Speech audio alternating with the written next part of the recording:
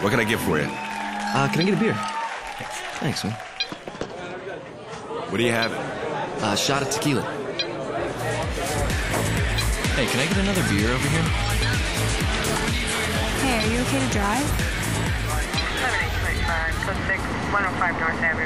It's a lot easier than you think to blow a .08.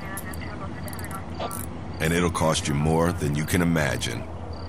Drive sober, arrive alive.